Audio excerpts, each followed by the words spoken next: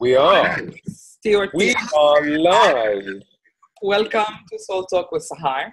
And I would like to welcome our viewers on Bridges of Light and whoever watches us in the rebroadcast and also on our YouTube channel.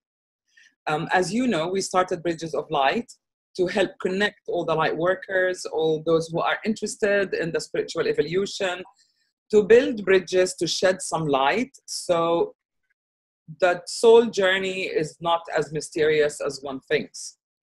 Tonight, my guest is Stewart Pearce. Stewart is a huge celebrity, so I'm very honored to have you. And um, some of you might not know him, so I would like to do the honor of introducing him. Stewart Pearce is the master of voice, a sound healer, an angel whisperer. His website is stewartpearce.com. He facilitates voice and presentation coaching, sound healing, soul readings. He's also an angelic facilitator, a seer, and an internationally renowned voice coach. He's held previously positions at the Shakespeare's Globe Theatre and the Drama Centre of London. He's the author of The Alchemy of Voice, a bestseller, and The Heart's Note. He has coached luminaries such as Eddie Redmayne, Matthew Goode, Hugh Bonneville. I mean, the list is endless, really, Stewart. Minnie Driver, Vanessa Redgrave, Margaret Thatcher, Diana, Princess of Wales, and also the London 2012 Olympic bid. I'm just naming a few names. Um, I want to tell our viewers that you've published a lot of books. We've met really early on in about 2003 we, I started the magazine in 2004. I started podcasting maybe at that time, and you were my first guest on the podcast. And I was just overcome with how down to earth you are. I mean, you immediately said yes. You came to my flat, we got the mic, we fixed the sound vibration. And there we are. We did several interviews, and to date, they're the highest downloaded podcast. The one. So, um, I'm very happy to see you again, and I'm very happy to connect with you again. I went through a very difficult and busy time. I got married, my brother got ill, my brother passed away, and then we moved to Dubai. Then my mother got ill, she passed away, and I just came out of the tunnel. And wow, you've written so many books, and you have officially become an angelic emissary. Maybe we can begin by asking you what is an angelic emissary? Well, it really goes back to 30, is it 32, 32 years ago, during a very remarkable planetary emission. I'm getting a lot of feedback on this. Are you getting feedback? Yes. Shall we maybe put the volume down? We put the, we put the volume down? Is that better? I think so. Oops. That was something I meant to do earlier and I was waiting. Is that better?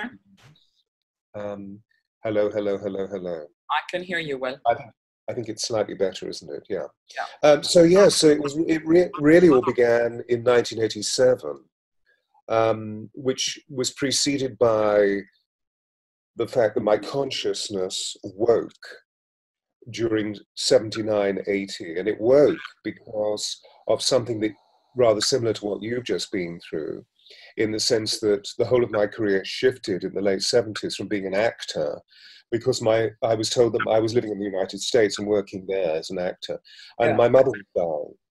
And so I came back to the UK and nursed her for a year, and then she left. We had a very, very powerful soul connection. So in her passing, I moved through this great rite of passage where she came to me. And it was almost as though my third eye just burst open in the latter part of 79. And so, really, for the beginning seven years of 1980, I worked on increasing the, my psyche, developing my psyche, I should say, and um, enhancing whatever my belief was in my mysticism and my belief in the fact that we're spiritual beings having a human experience and that we are all rich with soul. And what does that mean to be a soul container?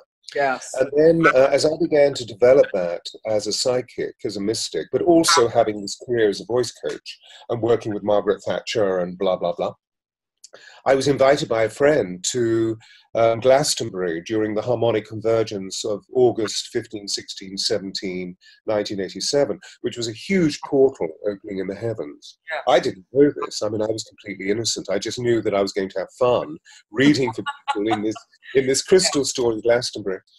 And during the lunch break, I felt exhausted, so I went and sat on the tor, the high hill of Glastonbury, which, for those people who are unfamiliar, is the heart chakra of the world. And during meditation, I heard these extraordinary sounds. I mean, these supernal sounds, the, the hallelujah chorus, as it were, but it wasn't sung as hallelujah. And I was so surprised, astonished. I opened my eyes, in front of me were these large orbs. Amazing. And I heard within my consciousness a voice that I remember from my childhood, from very, very young, which I believe is Archangel Michael saying, We are the angels of Atlantis, and we give you a temple of sound healing that you will call the Alchemy of Voice. And so I really started to develop working on it, which is what the Alchemy of Voice was all about. Yes. When we met, I was really um, living the temple of the Alchemy of Voice here in the city of London, in the United Kingdom. Um, but I wasn't really coming out about the angels because I had this career as a voice coach. And then it's slightly different today, but then people were still very circumspect about people who were, who were in positions of responsibility or in establishment positions who were mystics that's right. So, yeah. you know, discretion is the better part of valor. When we last met in 2002, 2003, I wasn't really talking about it. No. But in 2010, I resigned all of my establishment positions. I left the drama schools where I was teaching. I resigned my position at Shakespeare's Globe. And that was all to do with the fact that the, the, the, um, the hegemony, you know, the hierarchy of the institutes were being taken over by corrupt beings, and I could no longer work with them. So I saw it as being a perfect opportunity to come out of the closet and be a raging mystic. Yes, yes. Yeah. And so that's what happened. So really in 2010, 2011, when I met my present publisher, that he asked me if I would start really revealing. So we reprinted The Alchemy of Voice and put the soul back into it because as you know, it came out in 2005. But that publisher had asked me to extract the soul.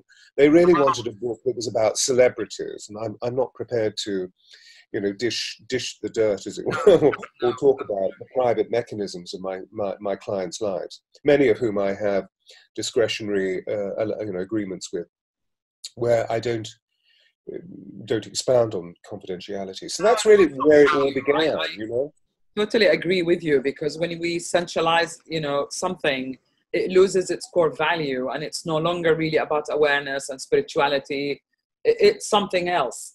And what i find interesting is that you've had a kind of a personal experience or a trauma that propelled propelled you in the right direction.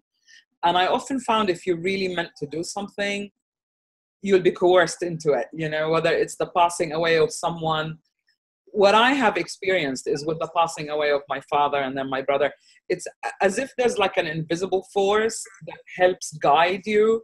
And with every time, my intuition got stronger, my abilities were expanded. And it's interesting for me to see that you have experienced that too. Mm.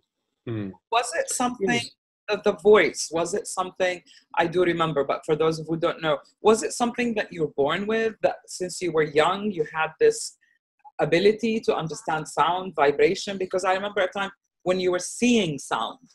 Mm. Can you tell Absolutely. us a bit about that? Because that's fascinating. Yeah, I mean, as a child, uh, I saw the multidimensional universe. So I saw beings of light, I, I saw angels, I saw ascended masters, mistresses, I saw ghosts. I was brought up my father worked for the British royal family, so I was brought up in royal palaces, and they're very old and full of beautiful things. So there are many, many, many, many voices. You know, yeah. voices that are historic voices that have gone on through the, you know, the annals of recorded history, so to speak. So I was very aware of all of this, and I spoke about what I saw. But I soon discovered that most people didn't know what I was talking about. I thought everybody saw what I was seeing, so I shut up. Um, and I had grave difficulty learning, so I could not read because I was seeing sound. And um, I didn't read effectively until I was about 14, 15 and was numerically dyslexic. So, you know, this was all post war, post Second World War. And if children didn't read or if they appeared to be stupid, the easiest thing was to beat them. So I was beaten thoroughly and traumatized by educators, which meant that I shut down. So I, I decided to self mute for two years, around six, seven. My brother spoke for me. I have a brother who's a year older. And when we were babies, you know, when we were young ones, we were very, very, very close, and often taken as twins. We have this soul connection. Yes. Um, and then, uh, so he spoke for, for me, and uh, and what it enabled me to do is to really listen and become aware of what human sound was. And then my mother had the ingenuity of when you know around 9 10 well actually 10 11 to put us both into a church choir. Oh lovely. And because i was always humming out whenever i was discovered i would be humming even though i wasn't speaking. I understand. And my mother thought well if if he can hum he can sing. Nice. Good on her. And i learned to read singing. In other words i learned to read by being in amazing the trauma of education disturbed the flow and moved me into this staccato, which was like this because it was all about terror all the time. Because I couldn't do what they wanted. So I was always being hit with a stick as a child. And then I learned how to literally sing through flow. Breath is flow, music is flow. And I learned to read. That's where it really began. And then became aware of words. And I thought words were the most beautiful things that I'd heard. I will never forget, I must have been about six or seven. I just started, or let's say seven, eight, I just started speaking again. And I discovered the word insignificant.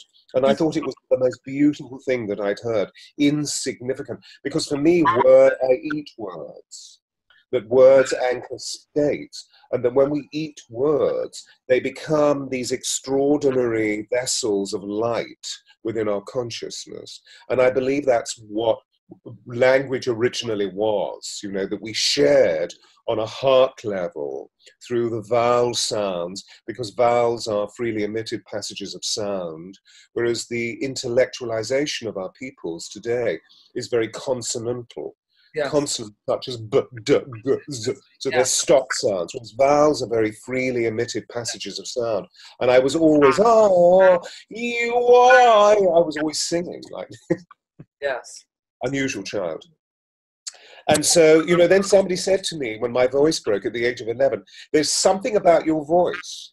And I thought, oh, there's something about my voice. Well, nobody said anything good to me about me, except there's something about my voice. Perhaps I should go there. So at, at high school, I went into the, you know, I, I, joined the drama group or the theatre group, whatever it was called.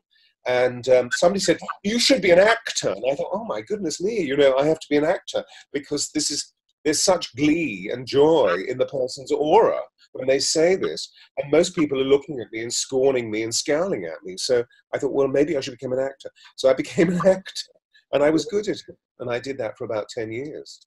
So, really, then, what I hear you saying is that you were pretty much guided, although you were traumatized at school, you were led onto your path. And the thing that I became aware of and I really appreciate now is the sound and is the vibration. And I remember you telling me just listen to where people are speaking from. Are they mm-hmm. speaking from the heart? Are they speaking from the top of their head or are they speaking from lower down? And it's amazing what you can pick up if you listen. Mm, yes. and the second thing is that sound is wave is vibration which never really disappears does it? Because you cannot destroy energy. So once you set the words and i think you use that now quite a lot with your sacred trips to luxor and things like that i mean I, and i don't know what the keys are about. I wanted to ask you about the keys but presumably you use the sound to open up the portals. Absolutely. Absolutely. The sound is at the core of creation. And so sound is a key into consciousness, and particularly into the preserving consciousness or the reserving consciousness that is held within certain form within, within our planet, particularly the ancient temples. So while there are unique fingerprints, there are unique snowflakes, there are also unique notes or sound notes that each of us have. So no two people on the planet can have the same vibration or the same sound note. Absolutely. And a big part of your work earlier on was to help people sound their true note or their heart note. Oh, which I still do. I still do. It's at the core of what I do. Because okay. if we're out of harmony, yes. then we have major challenges in our lives. If we are in harmony, we discover our personal sovereignty. And therefore, it's much easier to respond to the challenges as crisis equals opportunity rather than reacting in, in defeatist or disempowering ways to the dramas of life you know, where we give all of our power to it, rather than seeing, as we're saying, their initiations. That when challenge occurs, it's a huge initiation to take us inwards to discover who we really are in terms of feeling is the language of the soul. So, what am I feeling here? I'm feeling destitute, I'm feeling abandoned. Okay, so what is the opposite? How can we alchemicalize abandonment into acceptance? And thereby we become the master mistresses of our own destiny because we start to shape the outer world in response or in coherence with the inner world, the inner world of paradise, which of course is full of love, full of joy, full of inclusivity, full of empathy, full of kindness, full of honesty, full of all of these virtues. You know? That, of course, when we look into the outside world today, we see a transition is needed Yes. Because so much of our world, particularly in terms of the governing structures of our world, through central government into corporatocracy, that we're seeing that many of the systems are run through ignominy and through um, through um, treachery rather and through corruption rather than through kindness and through love. I'm working with a woman at the moment who's actually running for president in the United States of America Wonderful. and helping her and um, it's quite fascinating because I'm right at the right at the rock face of American democracy and how it needs to be redefined at this time so that the vision of the great founding fathers of the United States can pour forth.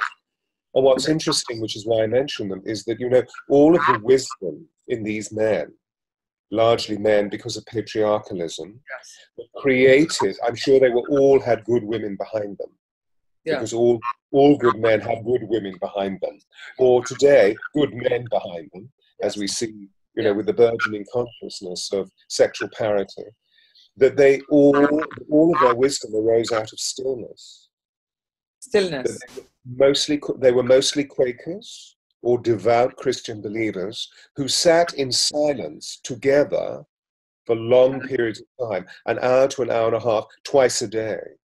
So the, the act of the Constitution arose out of stillness. Really? I didn't It arose out of the divine feminine.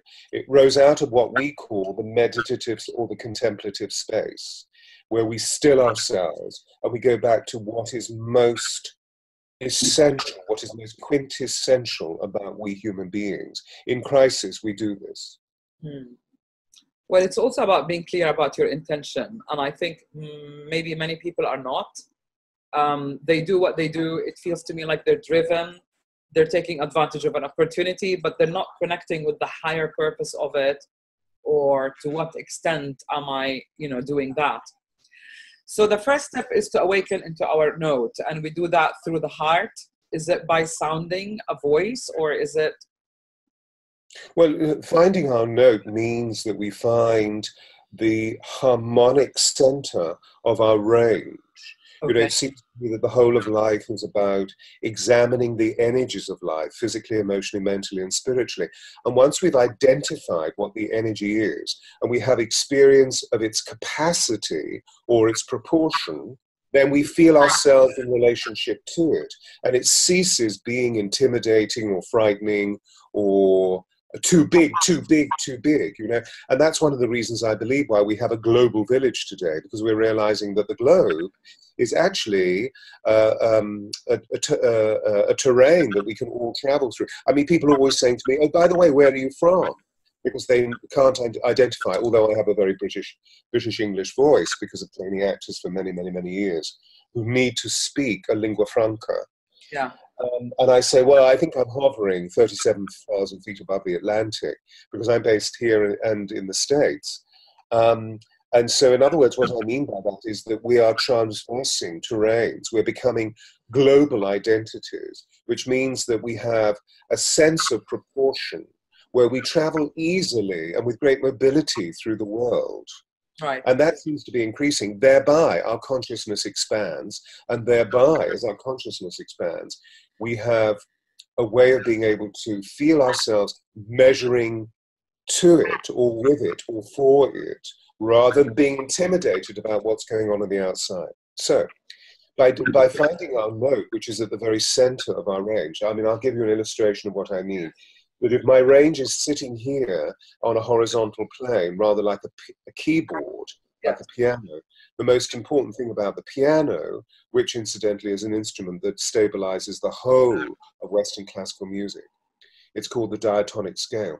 In the middle, there is a note which we call the middle C.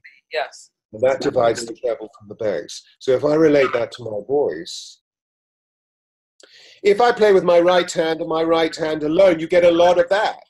Uh, but of course, what suddenly happened is that I've stopped being who I am. I become something else. And if I carry on talking to you like this, you're probably going to get exhausted and say in a moment, could you, you know, could you just calm down or release the stress? Because it's very stressful.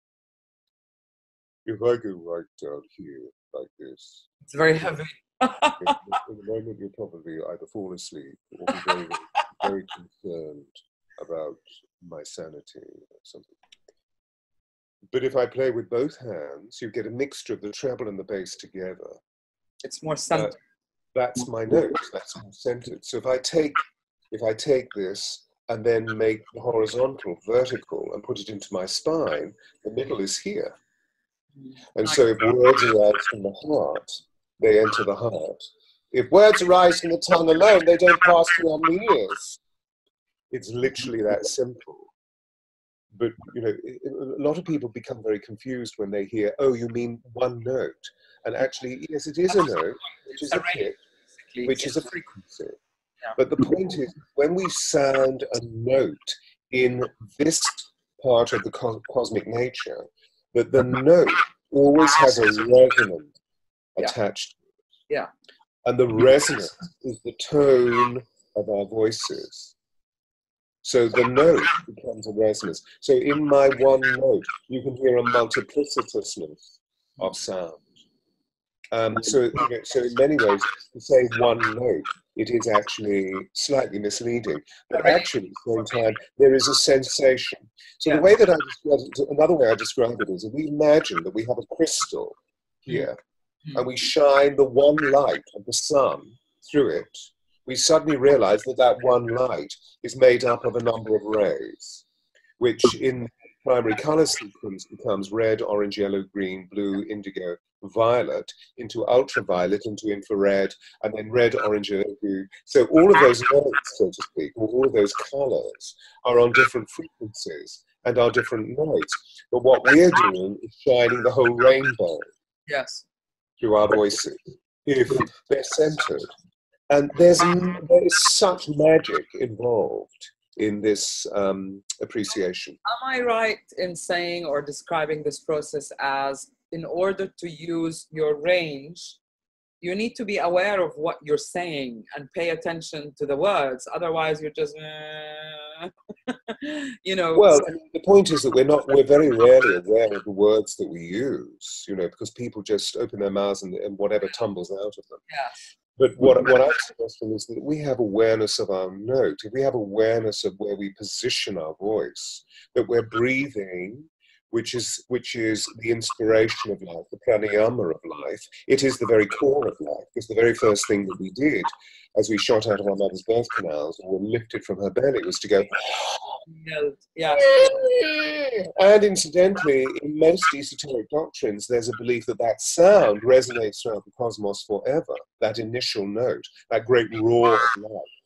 So if we're breathing and we're really feeling that our voices are sitting in the breath, in the middle of our beings, what happens is that we communicate with a majesty, with a stature, with a sovereignty, with magic, with a lure. It's the magnetic voice. Yes. So if we suddenly start doing that, I mean, people rarely take notice. I mean, we can try it on the children. The children, if we're trying to discipline the children, we're doing this. They very rarely take notice. But if we come back into here and say, now stop what you're doing and listen, we need to create boundaries here. They automatically listen. Try it on dogs. You know, if you say, Yeah. stop doing it, the dog carries on doing it. Animals But don't it listen if you're yelling at them. Yeah, that's true. But it, you know, they're not understanding what we're saying. They're feeling the vibration. Range, So this uh, is the key. yelling They're forever, feeling, but it they're doesn't. feeling the resonance, so they're feeling the vibration. And that's really what we're talking about. We're talking about this is a way of keying into the core elements of our vibra- vibrational field, physically, emotionally, mentally, and spiritually. Yes. Because really, what I'm trying to say is in order to be aware of that range and whether it's coming from the heart or not, you really need to be grounded within yourself. You need to be all together. Otherwise, what you're saying is just coming out of your mouth and you're not even aware of what you're saying. Yeah. But once we slow down a little bit and we observe and we are aware of what we're saying, I think what I'm trying to say, we are able to better express ourselves. And I can tell from somebody's voice, you know, when a client calls to make an appointment, I, I can almost tell what their issue is and where they are at in terms of their awareness. You know, and whether they listen or observe or are they just do do do do do do you know? So Many, you know, in, in ancient times, this was revered at the, uh, to be at the core of life. I mean, for example, we go back into arguably the origins of Western civilization, which we refer to as being Rome and then Greece. We know that there were ancient civilizations before that, the Sumerians, the, the Atlantean, the Lemurian. But in terms of the way that we address our consciousness today, academically speaking, Rome and Greece are considered to be the origins of Western civilization. Uh, and what, what's interesting is that civilizations rise and they fall. Our current re- civilization rose and is now falling and will become something else, a new paradigm. However, in Rome, what we're talking about is called persona. So they worked to find their persona. and so the word the word persona in Latin means per through, sona sound, Amazing. which we use in the word personality, Yes. which we use to describe the quality, the fabric, the essence of someone or the soul of someone. So we say his personality is really lovely, her personality I wouldn't trust, you know. And we've summed the entire person up. But really what we're doing is talking about their voices, we're talking about their sound yeah. persona through sound. So they worked, the ancient ones worked on this, and they worked through three degrees gravity, gravitas, veritas, which means truth, Yes. and integritas, which means integration Oh, or integrity. yes. Well, the only way that we can be full of integrity is if we're integrated. If we're if we're balanced physically, emotionally, mentally, and spiritually, we are literally living through the wholeness of our kinesthesia. We're living through the wholeness of our consciousness, which is what you were meaning just now by if we can literally become present, aware, breathe, and position our consciousness through speech, through our voices, we're onto something which is immensely powerful. Yes. Yes. Um, so, if we go into the 19th century, a very famous British prime minister called Benjamin Disraeli said that the, the index of a man's character is his voice. Really, he said that. I haven't heard that quotation before. Interesting. If we go further back in the Elizabethan period, a Lord Mayor of London in 1597 said that all speech is decorated silence. You can tell a man's character or a woman's character by their voice. So you would listen, as you were just saying, I can listen into somebody and I know whether they're true or false. And so, for example, the young man went to his beloved's father and asked for her hand in marriage, the father listened to his voice. And if his voice was not in harmony, he would say, No, you will not have my daughter. Right. Right. Well, in ancient Egypt, it was the heart. If it was weighed and it was light, then you go to heaven. And if it wasn't, and if it was a very heavy heart, then it was something else. Well, Amut would come and gobble it up. Yes. So You for would me, connection, you know, the sound, the heart being true. And and you talk a little bit about that in the Angels and Keys to Paradise. You talk about unlocking the Egyptian code to open the door to heaven. And I read a quote on the internet about your book that um, it's about exercises and meditations to further ascension. It will assist you to upgrade healing and freedom within your energy matrix using 12 essential keys that serve as cell codes. And this is really interesting because it brings it up to modern times. And you said it's like a powerful GPS to navigate um, through times of change. Can you expand a little bit on that? Well, this is very, very ancient information that the Egyptians, which was really a colonization of Atlantis. So many of the great, the great priests, priestesses, who lived much longer lives than we do today because they were living a 12 helix DNA, recolonized the world in the post times of Atlantis. And one major Atlantean priest wizard, who we know as Thoth, Yes. both moved to Egypt, which was just beginning to evolve as a stabilizing nation within the middle, what we call the Middle East today, which was then called Mesopotamia.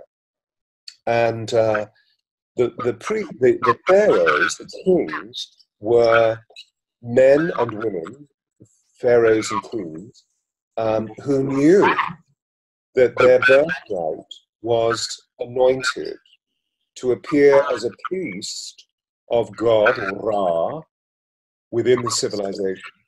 And the, the other priests would look after them in the great temples. And so their processes of initiation were called the Osirification process, Mhm. which we call the Kin- Kundalini arousal. Oh, I see. And there were a series of initiations through the Osirification process. Osiris was the great Lord God, or the great King God, so to speak, who brought about an element of creation. His wife was Isis, their son was Horus. And so the, the pharaohs worked on a series of initiations taught by the priests that are the keys to paradise. In other words, they prepared their physical vessel with intelligent thought and devotional rituals or prayers or chants to acquire greater light within their cells so that they could literally become the shining ones and then decide whether they would want to remain within human flesh or to literally ascend into paradise or as they called it Tepe. and so the keys were given to me by a, a being that has been dead for three and a half thousand years, who appeared to me in his tomb in Egypt. I've been going to Egypt for many, many, many, many years and running retreats for the last 12.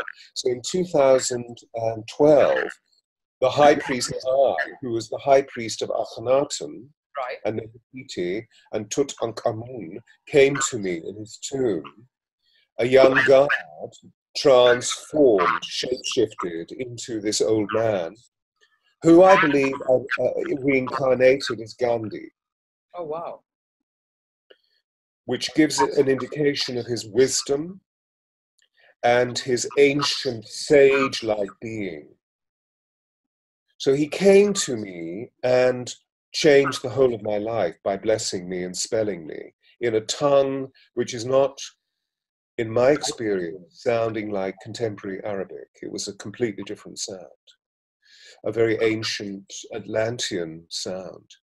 Um, in, in situations that then arose post that, because that was in the middle of a ritual where I had 14 or 15, I think about 20 people standing around me who were people that were my, you know, my retreat people that I was on, on retreat with. And they were all very surprised by what they were experiencing. Um, there was a lot of hysteria. I mean, the story is all in the book, Angels and the Keys to Paradise. I then met a wisdom keeper who was a very powerful major in downtown Luxor.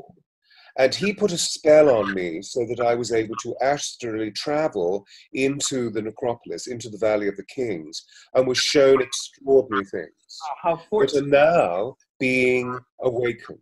Wow. You know, yesterday, my guide, my Egyptian guide, sent me information about um, a huge chamber to Osiris that had been discovered, and it was one of the chambers. It hasn't. Been, it hasn't been. This chamber has not been found until this time.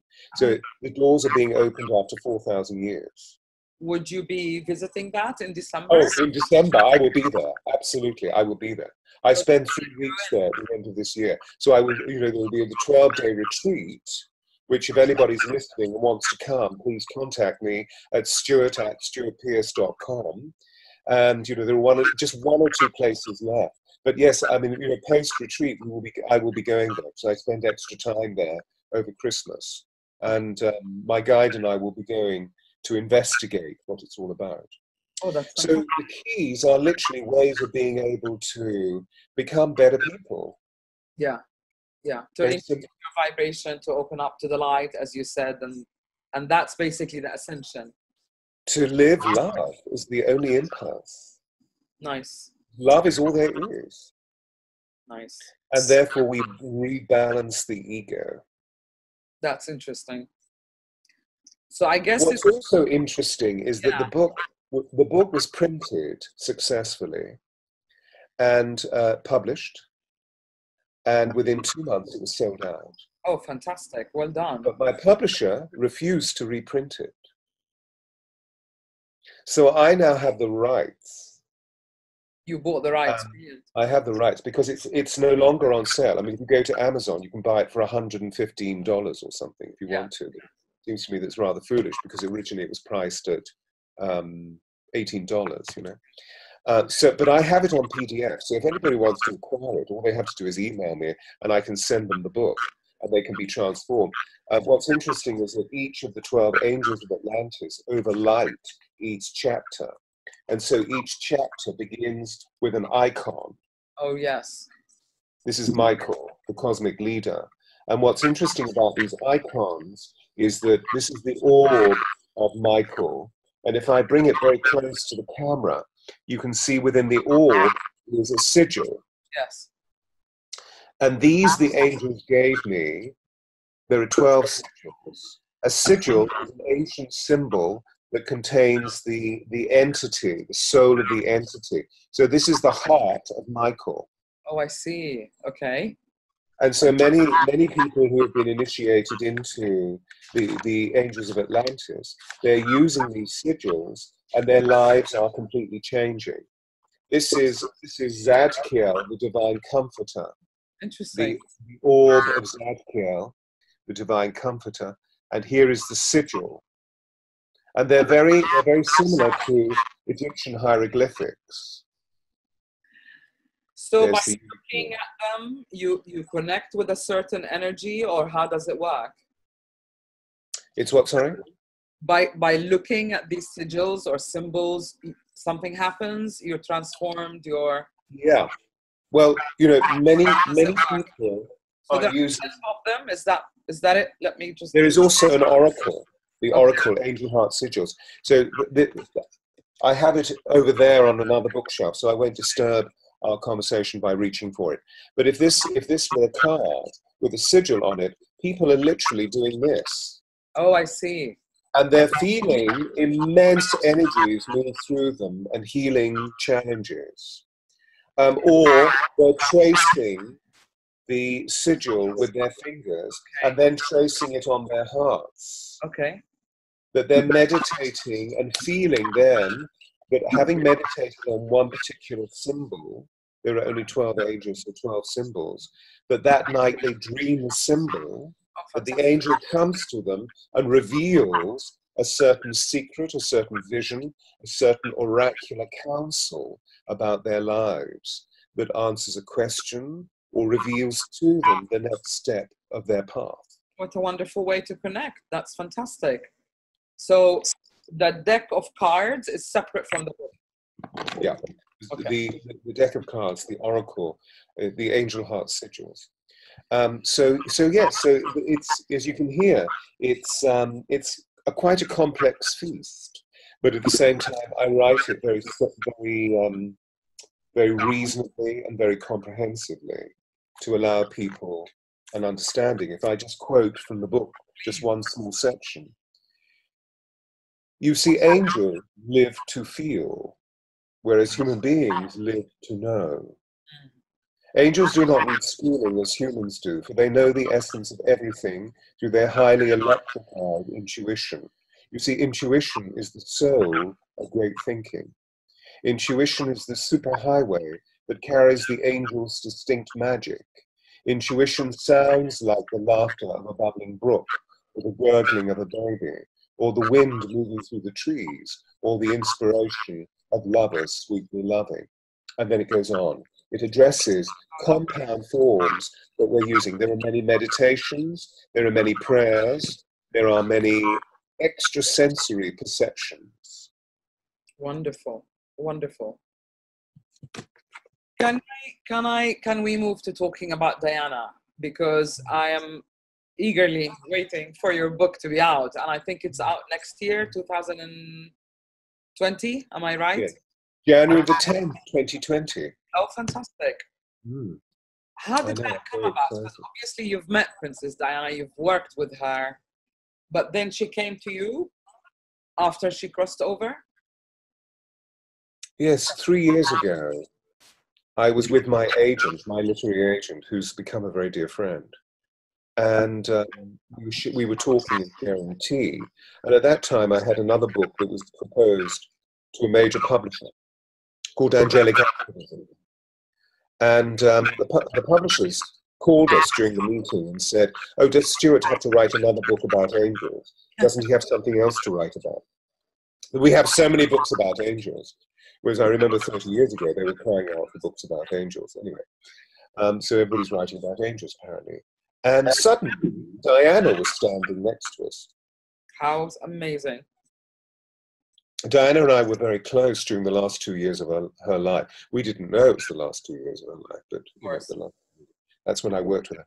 And our relationship was completely clandestine because of the circus that was existed around her. And I didn't want to get involved with the paparazzi. Um, and you know people like people like us that had helped her. And then they'd gone to the daily newspapers and made lots and lots of money out of ditching yes. secrets about diana. And i swore that i would never ever ever do this because she was sacred. She was a sacred vessel. Um, extraordinary. So she said i want you to write about the work you did because you took me through a series of very powerful initiations which allowed me to develop my radiance and then I sat down and started thinking about the level of consciousness that we engaged in before you and I met, before the globe, the globe opened. So this would have been 95, 96, 97. And I realized that I'd written a lot of notes in my journal. And so what I did was write this book and interview people that we that we had known at that time for their comments on Diana, where people were revealing extraordinary things about Diana within the context of our consciousness today, these 22 years later. It's very astonishing that she was actually before her time. And we saw that she was a great change maker within British establishment, particularly within the royal family. But they just didn't understand her acute sensitivity. And so part of my job was to help her stabilize, to ground, to yeah. earth herself, so she could become this channel of light yeah. and to experience this love that changed everybody's lives, particularly during her death, during her dying process, which was a ritual initiation. So it was a killing, she was killed, but at the same time, um, her soul had agreed to move through this transition and become an angel of vast luminosity that is with us today as the queen of everybody's hearts. So I see her in the pantheon of the divine feminine, with Mary, with Isis, with Magdalene, with Kuan Yin, with Portia, with Sophia. She is there, bringing about the great revolution of consciousness that we are allowing to filter through us with the wisdom of love. Yes. Yes. So the book is really a, a, a compilation of. Um, for the first chapter is talking about what was that all about? What was this phenomenon called Diana? And why did she die in the way that she died? And what happened? Because you know where she died in Roman times was the Temple of Diana. Oh, really? so it's a very sacred, it's a sacred portal that goes back in the sands of time. So I trace this all the way back to the Merovingians. And the Spencer family are the, one of the oldest noble lineages in the Anglo-Saxon yes. line of the aristocracy, much more noble than the Saxe-Coburgs, who are called Windsor, yes. much more noble than the Queen. Yeah. Interestingly, you know, it goes all the way back, and they fought duels at that point because they also worshipped Diana. Interesting anyway, so I, I answer the unanswerable and I question the unquestionable. And then we go into the exercises that empowered her so that she could become what everybody saw her as being, which was this radiant being of walking love. I see that you've carried on along that theme because you've done a lot of work with women this year and past year and empowering women and how, how did that go how do you feel it has impacted women? Oh, it's extraordinary. Women are coming to me from all over the, all over the world to take part in. The book is called Diana, the Voice of Change. The yes. project is called The Voice of Change, and the Voice of Change is the voice of love. And so many women are coming to explore why they are experiencing such disempowerment in relation to the men and how they can acquire a power within them energetically so physiologically a power that allows them to remain centered in the face of the criticism. And as a result of that, the men's power is automatically altered, so the women are seen in a different light. So therefore I say, look at Marianne Williamson and what she is doing as she runs for the presidency of the United States. Look at Jacinda Ardern, who is the Prime Minister of New Zealand. Um, one of my clients at the moment is this, is this extraordinary woman who is one of the world's leading economists, who is just about to be voted as president of the World Economic Forum.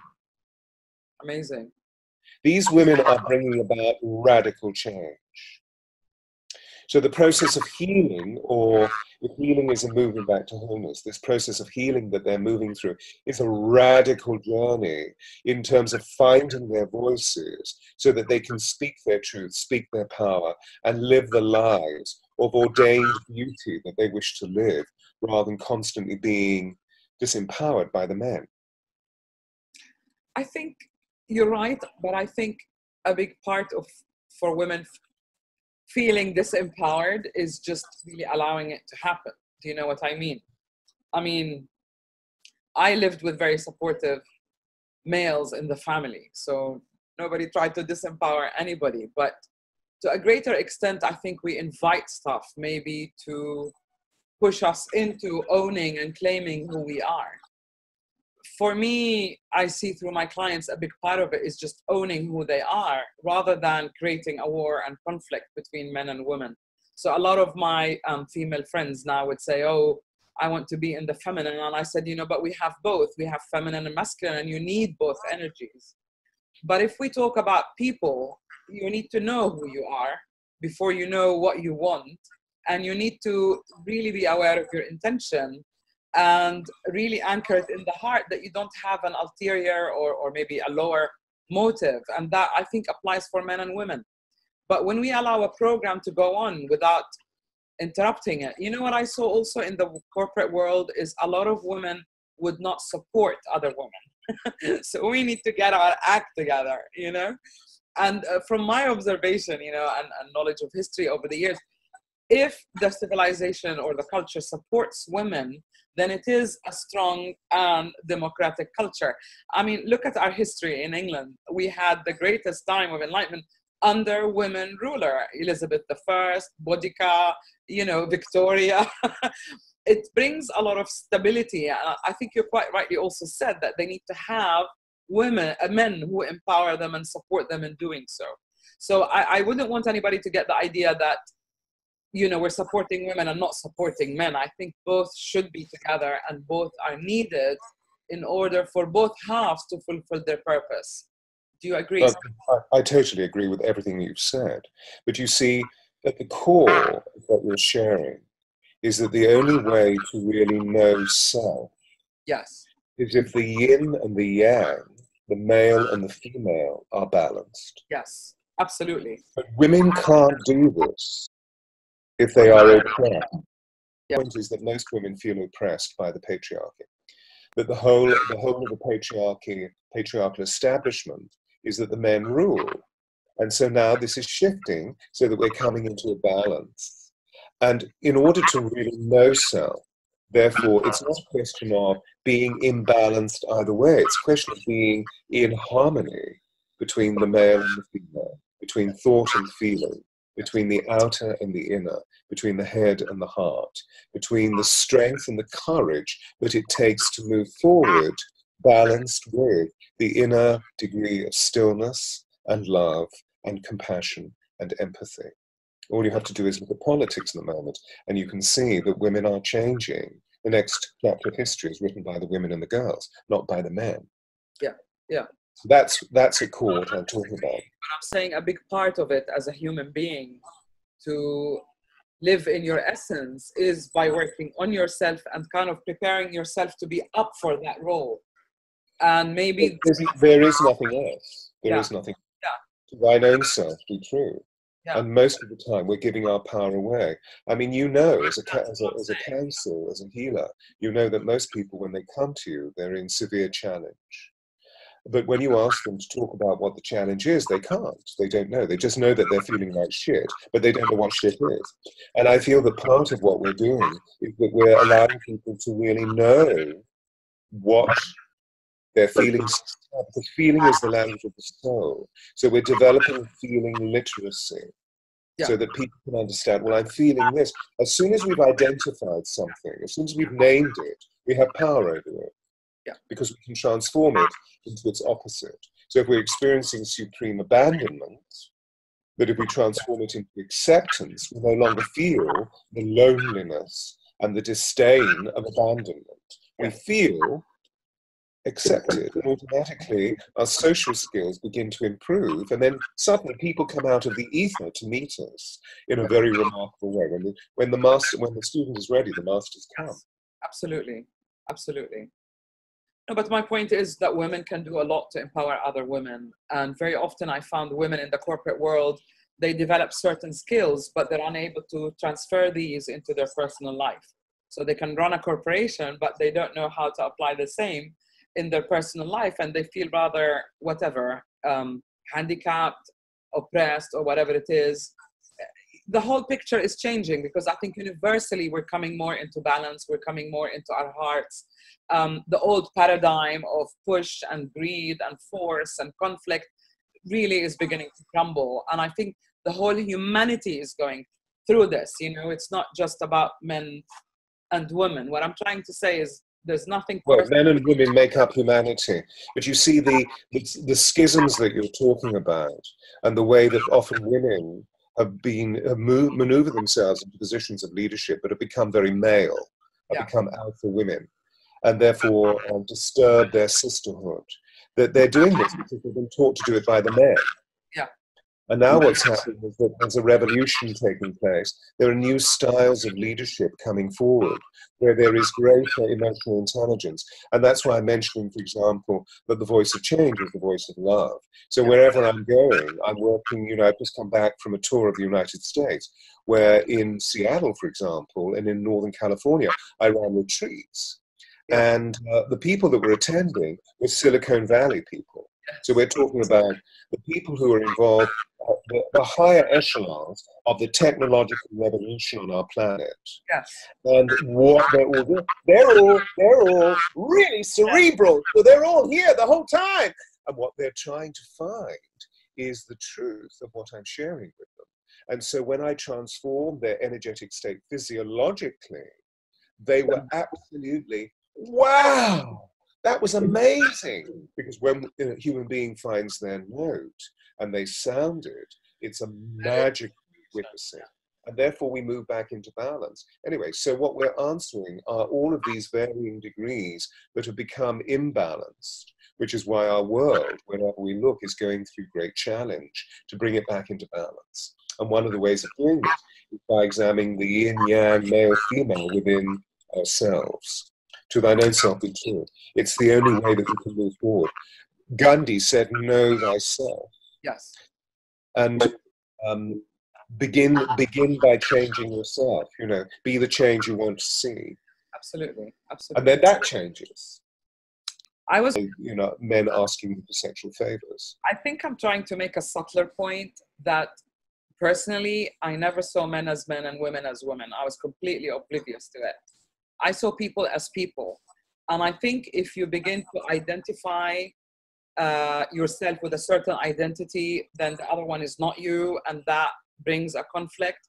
But if you see people as people and you understand them as people, it shouldn't really matter whether they're men or women, because sometimes men, women do the same thing when they're in a certain position, and sometimes men are extremely supportive. But I'm saying we can transcend all of that by beginning to just see people as people rather than relate to them, you know, you're either with me or against me, because that's the thing that created the whole conflict. You know, well, if if, no, no, and so what I'm sharing with you is what people bring to me when they're in a state of disharmony. And my job is to help them see how to create harmony. In order to do this, we see that our consciousness is suspended within a quality of vibration which yeah. is called reality. I'm not here is, here is the, here is the left brain, here is the right brain. Here is the male brain, here is the female brain. And if we begin to literally find capacity in these realities, we find a way of coming back into the sacred balance, which was known as the axis mundi and the anima mundi. They play through it, and we become remarkable human beings. Absolutely. So all of my work is about that, of living the highest vision of ourselves, not the lowest vision. The lowest vision is when we operate through conflict. The highest vision is when we operate through harmony. Yes. No, I This has been a wonderful conversation. Thank you so much. Thank you, Stewart Pearce, and hopefully we'll have another chance of speaking again. Thank you very much. Bless you. Have a wonderful day, Sahar, and much love to you. Take care. And great love to all of our listeners. Thank you for watching, and we hope to see you soon again. Bye.